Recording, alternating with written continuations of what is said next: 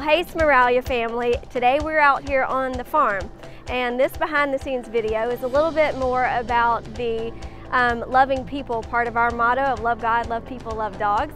Um, this is my husband Chip and every year he plans a couple of trips with um, this special group of people. So I want him to tell us what we're doing today, a little bit about our guest and the heart behind what he's doing. So Chip, who's with us today?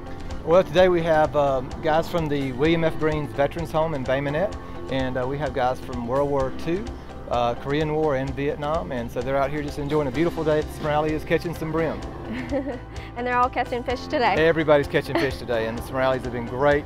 Uh, they let us come out here twice a year to fish, and uh, these guys, I mean, they might be old, but they used to like to do this, and they still do, and, and uh, we have a really good time doing it. So what's the heart behind wanting to do this for them every year?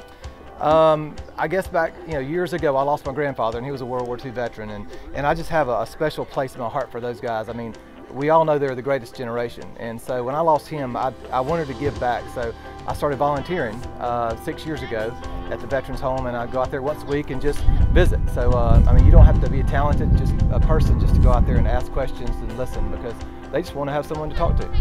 And y'all, that's really what it's all about when you really um, share the, the love of God and the heart of God.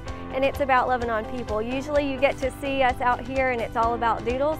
Well, today it's about people and we just wanted to share that part with you as well. So thanks for watching and we'll see you soon.